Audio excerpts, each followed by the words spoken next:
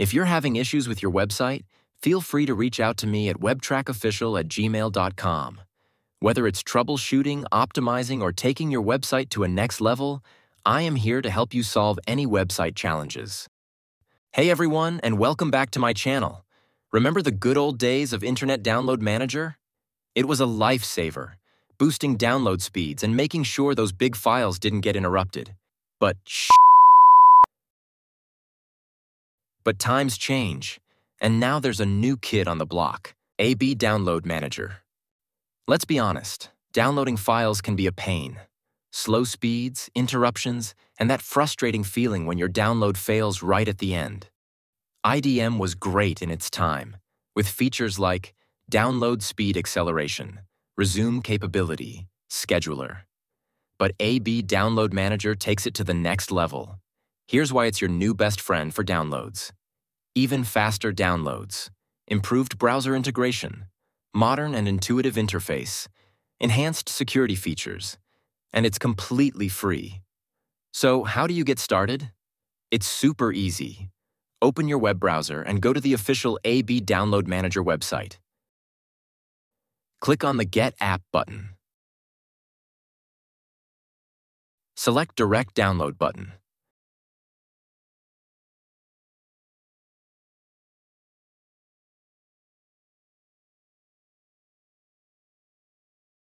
Run the installer and follow the on-screen instructions.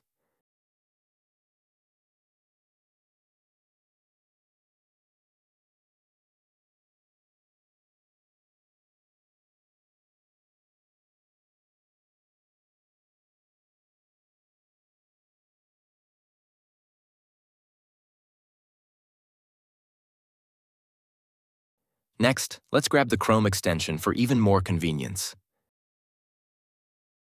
Click Tools, download Browser Extension, and select Chrome. Let me copy the URL and open it in Chrome since we're installing there.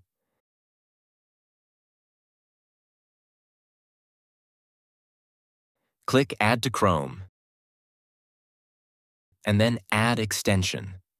Now the magic.